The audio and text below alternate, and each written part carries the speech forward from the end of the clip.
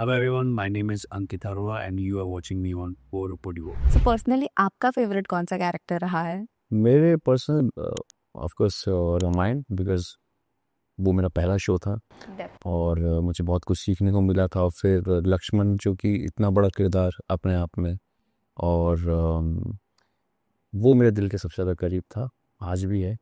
और बाकी तो uh, सारे किरदार बिकॉज़ आप उतनी मेहनत करते हो और उतना ही टाइम देते हो तो हर कैरेक्टर आपके करीब होता ही होता है, आपके नज़दीक होता ही होता है।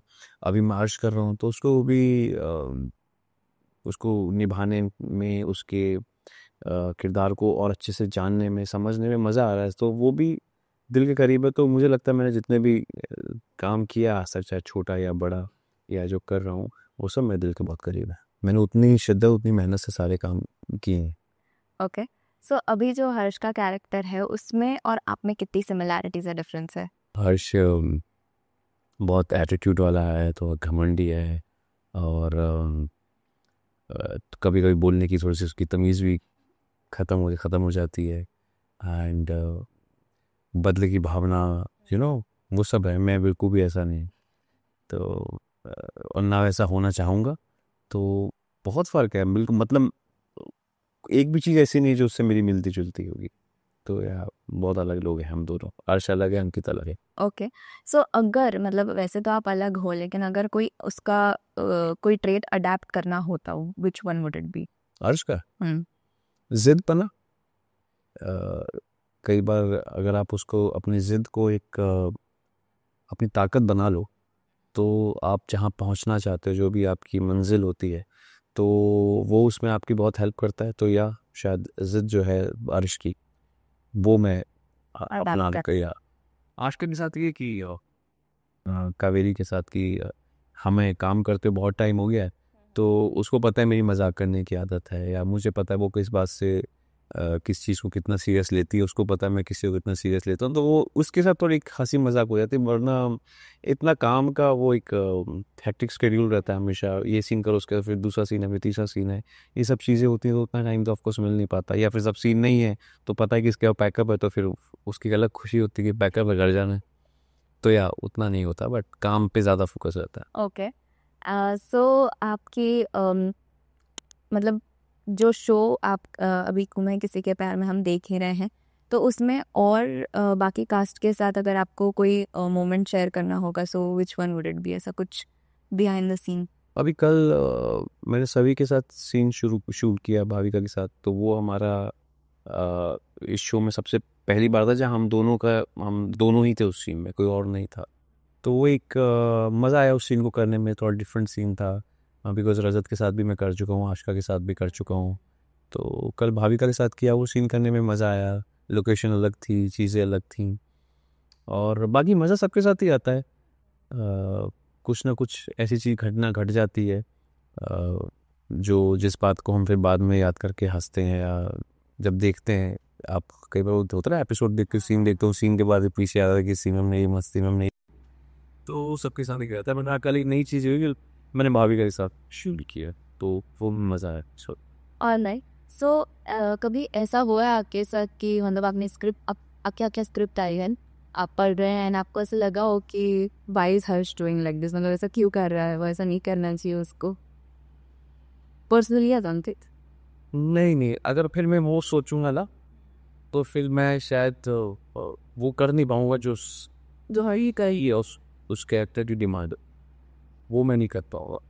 तो फिर मैं उस टाइम वो नहीं सोचता। फिर मैं अर्श बन जाता हूँ और फिर मैं ये सोचता हूँ कि इसको मैं और किस नहीं और गंदे तरीके से कर सकता हूँ। मतलब अच्छे तरीके से कर ताकि और गंदा लगे लोग गुस्सा या लगे कि हाँ लोगों को लगना चाहिए कि गलत कर अगर मैं अगर ऐसा करने लगूँगा ना तो फिर मैं वो कर नहीं पाऊँगा जो आज करता।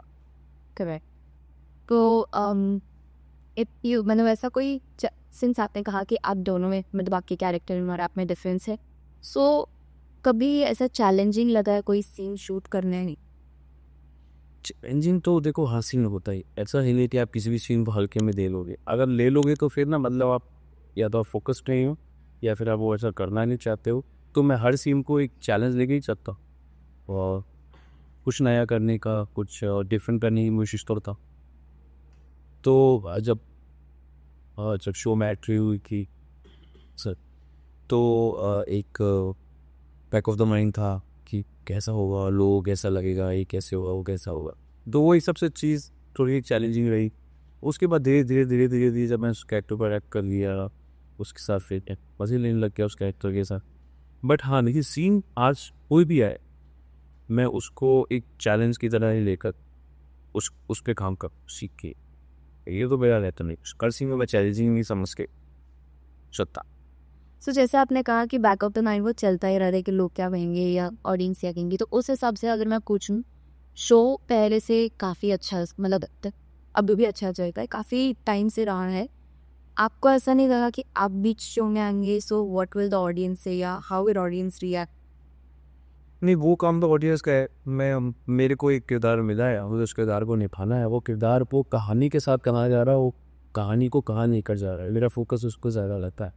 और आया है तो कुछ करके जाएगा यू नो वो मेरा फोकस रहता और ऑफकोर्स ऑडियंस को कुछ नयापन मिले, और ऑडियंस उसको पसंद करे, या नफ़रत करे तो वो मेरा एक मे वो रहता है। क्योंकि अगर मैं फिर बोलूँगा, और उन चीज़ों पर ज़्यादा ध्यान वो क्या कहेगा ये कहेगा ये क्या वो क्या होगा? मेरा फोकस ये रहता है कि लोगों को पसंद आ। चैनल, प्रोड्यूसर, राइटर जितनी मेहनत कर रहा है, उसके ला के ऊपर क्रिएटिव टीम, वो, उनको ये ना लगे कि यार, गलती कर दी इसको भी। अच्छा है मज़ा है वो मेरा एक रहता है।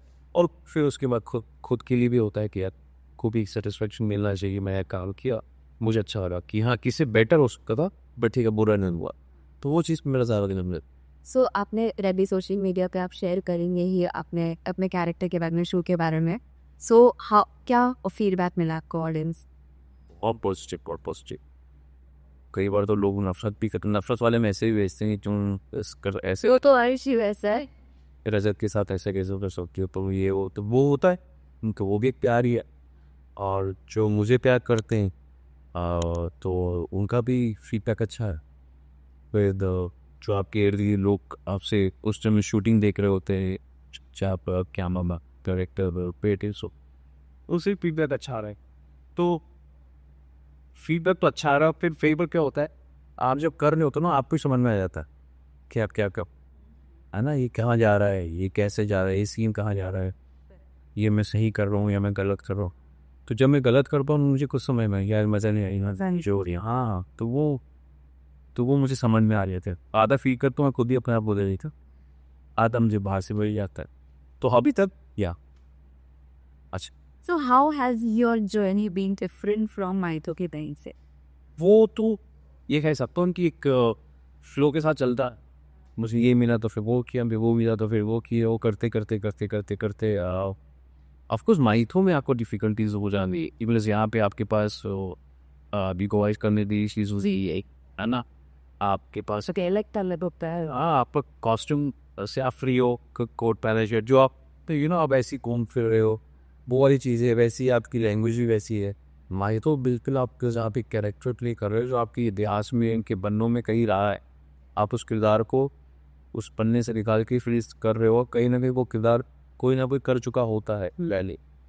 तो उसके साथ एक जस्टिफाई करना वो एक चैलेंज तो होता ही रहता है और वो लैंग्वेज वहाँ पे इम्प्रोवाइज करने का थोड़ा सा चाँद जो है वो विडो कम होता है।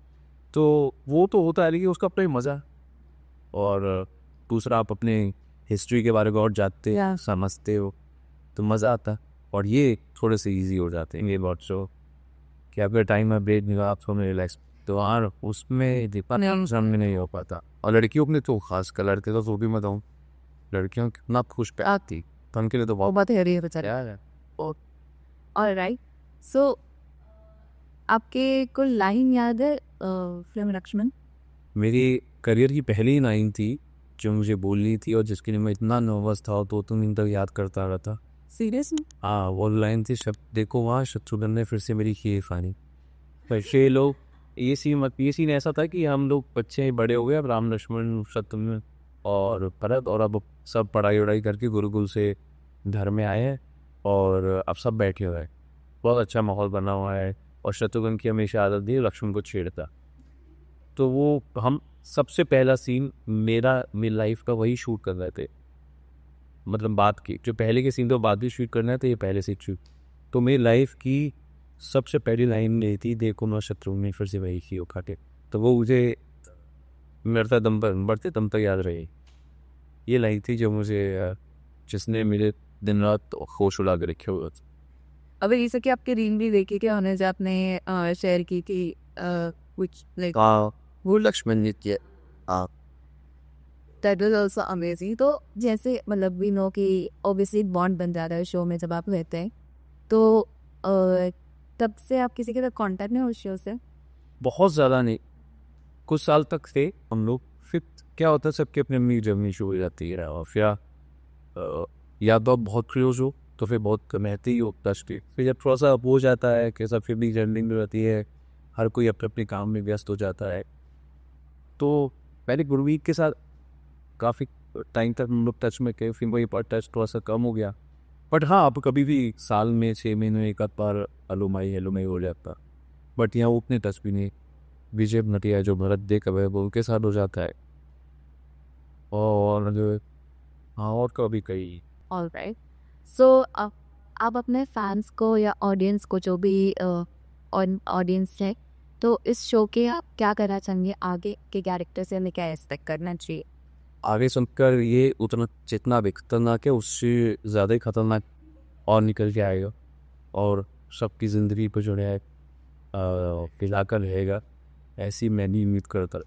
और लोगों को पसंद आएगा मतलब वो एंटरटेन उनको पूरा खूब मिलने वाला में तो बस आप देखते रहें और ऐसे ही प्यार दे तो हमारे शो में सारे किरदार संभव मेहनत करें